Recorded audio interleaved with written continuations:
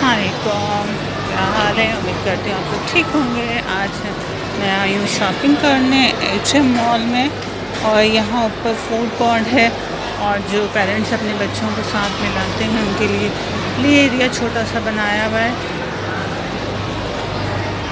और ये हम मूवी देखने आए हैं, देखें अब हमें इस मूवी का टिकट मिलता है, इस टाइम कौन सी चल रही है तो वो फिर देखते हैं। यहाँ पे फिर आपको बताएँगे कि हमें कौन सी मूवी का टिकट मिल रहा है इस टाइम पे। आ, कुछ शॉपिंग की है सफ़ायर से और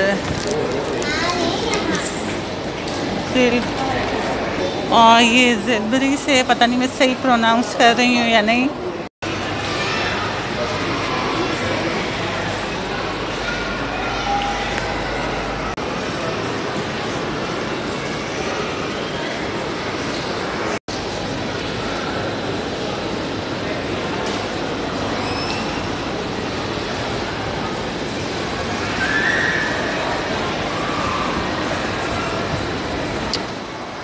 ये एट्रियम मॉल में आए हैं, आप देख रहे हैं कि आपको यहाँ पे इतना ज़्यादा कोई रश नहीं मिलेगा।